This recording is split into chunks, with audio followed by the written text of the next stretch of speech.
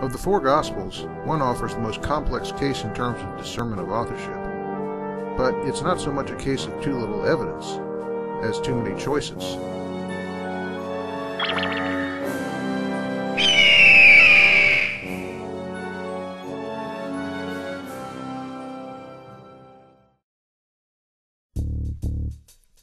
As is typical of the New Testament books, there's no dispute in terms of internal evidence of attribution when it comes to John's Gospel. The critical question is raised by the external evidence of attribution. Which John was the author? The early church writer Papias made this comment you see here. It's occasioned some debate over whether Papias is referring to two different Johns, one a disciple of the Lord, the other an elder, or whether he's referring to just one John twice, who was both a disciple and an elder. A couple of other external testimonies favor the first explanation and directly identify the John of the Gospel with the disciple. Others are equivocal, and none identify the author as merely an elder named John.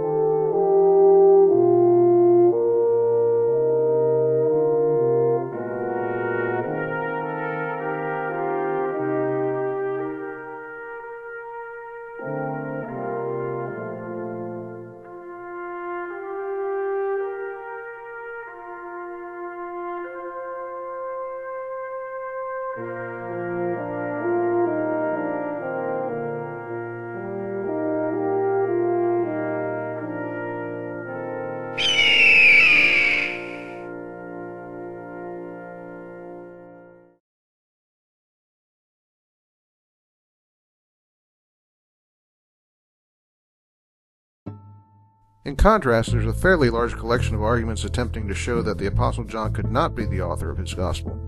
A good number of these, though, sometimes still heard today, are badly out of date. For example, it used to be fashionable to declare that John's Gospel was Gnostic in orientation, meaning it reflected the beliefs of a mystical religious system in the ancient world characterized by the idea that one needed special knowledge, or gnosis, to be saved. That in turn was taken to mean John could not be the author. This fellow, Rudolf Bultmann, was really big on this idea, and he's so well known for making issues over John's Gospel that we'll use him as our bad guy the rest of the way. But anyway, as to this argument, since deeper study of Judaism has occurred since Bultmann's day, it's become clear that John is firmly rooted in Judaism, not Gnosticism. A more tangible objection appeals to Acts 4.13 and says that because this indicates John was illiterate, he couldn't have written a gospel. Well, as we've noted in a prior vid, that won't wash because all John needed was a scribe. Beyond that, there's two points. One, illiteracy is a social problem, not an incurable disease. Even if John was illiterate in 33 AD, at the time of Acts 4.13, that doesn't mean he stayed illiterate for the next 30 years. But besides that, Acts 4.13 couldn't refer to literacy. For how could the priest have known from a speech that John and Peter couldn't write? All Acts 4.13 means is that Peter and John were not formally schooled, as would indeed be obvious. Not that they couldn't read and write. Then there's this objection. Within John, the figure of John is referred to as the disciple Jesus loved. The argument goes that a self-description like this seems a little, well, egotistical for John himself to write, but this incorrectly assumes modern social values on the text. Egotism, as we understand it, wasn't part of their social world. In contrast, people were expected to be bold and frank and honest about what they were. So, if Jesus did indeed truly love this disciple, then that disciple was free to say so.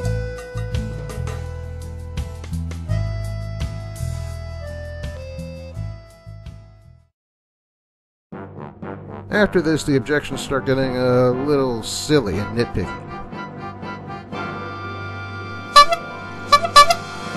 For example, some complain that John 18:13 is wrong because it reflects a notion that there was a new high priest every year.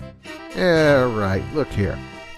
If I say, ah, 1977, Jimmy Carter was president that year, does that mean I think the presidents are elected every year? No, of course not. Even so, you have to know something else to appreciate the point John is likely making. 28 men held the office of high priest between 37 BC and 70 AD, meaning most lasted an average of only 2.75 years. In that light, a phrase like that year might not have been an inappropriate way of putting things. Finally, we'll mention this verse, which is said to reflect a benediction cursing Christians that was used in synagogues only after 85 AD. Too late, some say, for John to have written, or else showing that the Gospel was not authored by an eyewitness like John. But look carefully. The benediction of 85 AD was a curse, not an expulsion. There was no ban on the attendance of synagogue by Christians. But the expulsion of deviant persons from a group was simply a typical process in the ancient world so that there is no specific date past which Christians could have been subject to an expulsion. So, once again, we see that by applying the standard test of authorship, the Gospel of John comes out as good as any ancient document. There's one other question we could address, and that's why John's Gospel is so different from the others. But we'll save that for another vid.